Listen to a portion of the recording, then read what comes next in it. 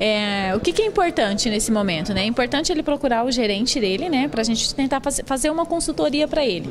Nós vamos precisar entender qual a finalidade desse recurso? Então, ah, o nosso associado ele está pensando em construir ou reformar o empreendimento dele. A melhor linha para ele vai ser o BNDES automático, que oferece um prazo aí de até 10 anos para pagar, com até 36 meses de carência. Então, a gente vai orientar ele de acordo com a finalidade. O associado está pensando em vendas agora de final de ano, né? Que chegando final de ano aí, a, a venda vai aumentar aí com as festas. Qual a linha indicada para ele? Temos um BNDES também, que é o BNDES Pequenas Empresas. Esse BNDES ele pode ser em até 60 meses o pagamento e a gente pode conceder até 24 meses de carência. Mas tem o pagamento do juro nessa carência, que ele gira mais ou menos em torno de quê? Como é que, como é, que é feito é, esse cálculo? É, então, é, toda a linha do BNDES, durante o período de carência, é, é pago, é, é feito pagamento dos juros. Então, trimestralmente paga-se os juros. O associado que pegou 12 meses de carência, ele vai ter quatro pagamentos trimestrais, que são os juros. A partir do período de carência dos 12 meses, aí ele vai começar a pagar juros mais principal mensalmente. Isso vai ser mensalmente depois. Exatamente. Acabou o período de carência mensalmente. Durante o período de carência, juros trimestrais. De qualquer forma, tem que se fazer um cálculo seguro de que lá, lá na frente não haja uh, uma, algum, algum contratempo, porque corre o risco de perder tudo. Perder, não. Assim, não, não corre risco de perca nenhuma, não. Por isso que a gente pede para que vá no, na instituição, a gente vai simular para ele. É, são linhas que são a, não são linhas com taxas fixas, são linhas que o indexador é a inflação. Então a gente está num momento muito bom para pegar juros com esse indexador, porque a nossa inflação está quase zero, então as parcelas vão ser mínimas também. É, a tendência de mercado agora é que a inflação mantenha-se, né? Isso, o que a gente não pode garantir é 5, é, 3, 4 anos. Como é que vai estar a inflação? A gente troca de governo também, né? Mas no momento é uma linha importante e interessante para se pegar. Não tem risco de perca, só as parcelas que não são parcelas fixas, né? Então as parcelas são atreladas à inflação também.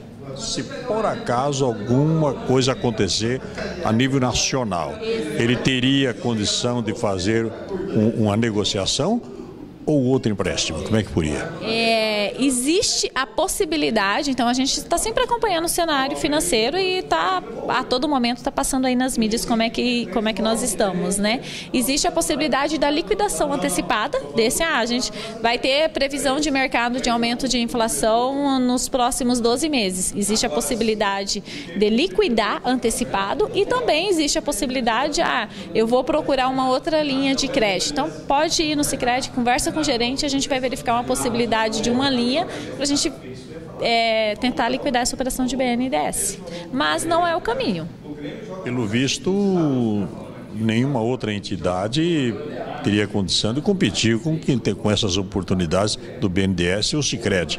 Exatamente, não tem, assim, ó, então é uma linha interessante. Fora essas linhas, a gente tem o cartão BNDES, então assim, está disponível lá no site do BNDES, o associado entrar, fazer o cadastro dele, escolher o Sicredi, levar para o Sicredi, a gente vai fazer a análise e entregar um cartão BNDES para o associado, que também é uma alternativa interessante, que hoje a taxa de juros do cartão é 1,14. Então, ah, existe veículo veículos que pode se comprar com cartão BNDES, existem é, materiais para construir ou reformar, é, pequeno empresário que faz entrega e usa moto, então tem motos que pode ser comprado com cartão BNDES e está com uma excelente taxa. Então é um recurso que a gente fala que é um presente para o nosso associado.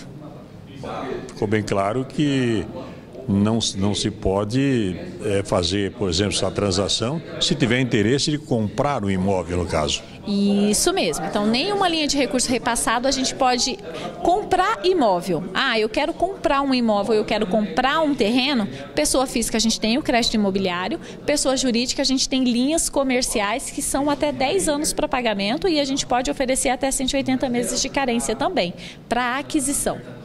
Isso é para aquisição do imóvel, tanto faz o terreno, o próprio imóvel já construído. Exatamente. Então, é um terreno ou um imóvel construído, pode ser adquirido com uma linha de crédito comercial normal, com até 120 meses para pagamento. Quando passa a ser dono disso tudo, só depois da quitação? Isso, aí existe todo o processo, ou não. Se você quiser dar o terreno que você está adquirindo em garantia, ok, pode ser, aí ele vai ficar alienado, ou não, eu quero um outro bem que eu vou conceder em garantia. Aquele terreno já vai sair no seu nome. Não obrigatoriamente o terreno a ser adquirido vai ser o terreno que vai ser dado em garantia. Como é que funciona o aval? É, o aval é para as linhas de BNDES e obrigatoriamente precisa-se pro microempresário de aval de terceiro. Não somente o sócio pode ser o avalista. Então ele precisa ter aval de terceiro na operação dele. Não quero pedir avalista. Então tem que ir na agência, conversar com o gerente. Então depende muito do valor da operação. É, a gente pode, pode ser que seja solicitado uma garantia real adicional para pegar o limite de crédito vai levar em consideração também a movimentação bancária desse cliente? Sim, exatamente. Isso é uma informação importante, porque assim, é importante que o Cicred e que o gerente ele tenha conhecimento de como funciona o fluxo de caixa do associado. Então, assim, é importante que a movimentação dele esteja ali com a gente, para que a gente consiga fazer uma análise e conceder o BNDES, que a gente fala que é um presente do associado. Então, a gente precisa conhecer a movimentação dele, o fluxo dele. Então, todo esse fluxo financeiro dele é levado em consideração na análise de crédito. A elevação de preço dos produtos não, não, não, não influi nada, né?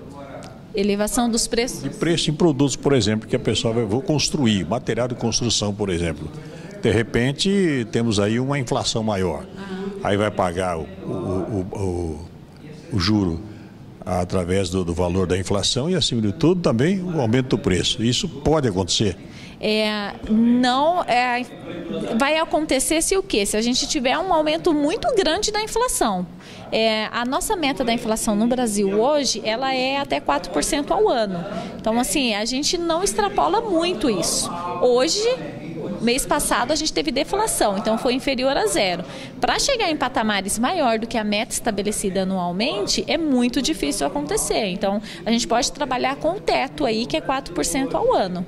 Se a, inflação chegar a 4% ao ano, a operação vai ter um aumento na parcela. Se tiver deflação, igual a gente teve o mês passado e esse mês também, que agora só vem caindo, a parcela do associado também vai diminuir se o associado começar a negociar agora, antes do final do ano, e o, e o ano que vem eh, já a conta é uma outra, como é que fica? Aí a parcela é de acordo com até é a inflação do período do período que ele estiver pagando a, parcela do mês, né? Então, por exemplo, ah, lá no mês de abril a inflação chegou a 2%.